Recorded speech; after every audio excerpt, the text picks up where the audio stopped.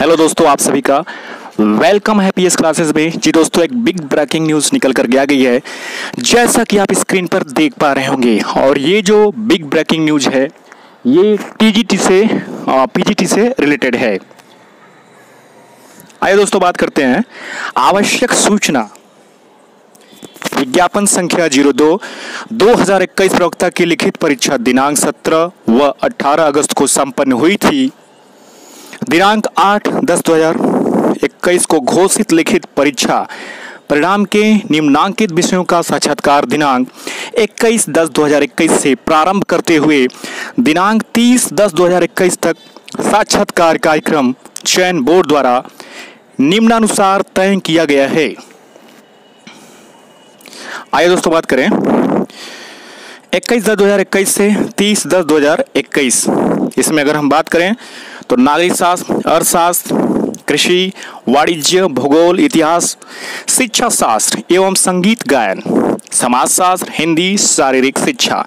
आइए दोस्तों बात करें उपरोक्त साक्षात्कार कार्यक्रम अनुसार तिथिवार, विषयवार, अभ्यर्थियों की सूची चयन बोर्ड की वेबसाइट पर प्रदर्शित है। सूची में अंकित अभ्यर्थियों से अनुरोध है कि दिशा निर्देशों का भली भांति अध्ययन करके परीक्षा पोर्टल पर उनके द्वारा ऑनलाइन आवेदन में उल्लिखित अभिलेखों को पोर्टल पर अपलोड करें एवं संस्था का विकल्प चयन करते हुए साक्षात्कार पत्र डाउनलोड करते करें। तदनुसार नियत तिथि व समय को साक्षात्कार हेतु चयन बोर्ड कार्यालय में अपने मूल अभिलेखों के साथ उपस्थित हो।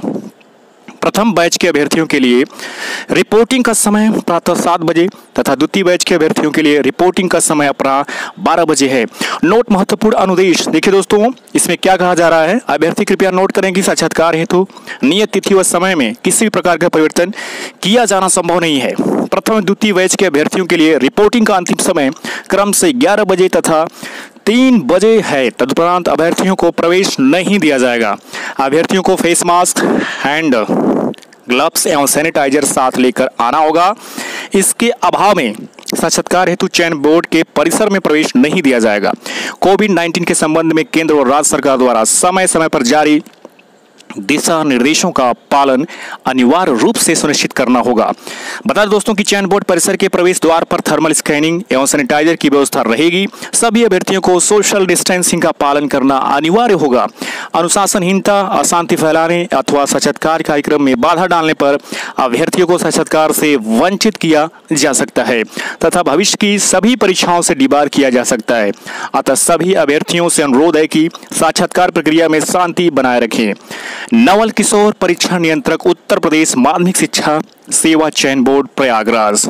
तो दोस्तों, ये रहा इसमें कुछ महत्वपूर्ण यहाँ पर साक्षात्कार पत्र डाउनलोड करने हेतु महत्वपूर्ण दिशा निर्देश दिया गया है, जिसे आप इसकी वेबसाइट पर जाकर के देख सकते हैं। तो दोस्तों, ये रही एक बहुत बड़ी अपडेट आपके लिए। तो पीएस क्लासेस लेकर के आया, जैसा कि आप जानते हैं जब हम कंफर्म हो जाते हैं कि सूचना सही है, तभी आप तक पहुँचती है। तो दोस्तों, अगर आप चाहते हैं कि सबसे प्रमाणिक सूचना आप तक पहुँचे तो आप हमारे चैनल को सब्सक्राइब करें।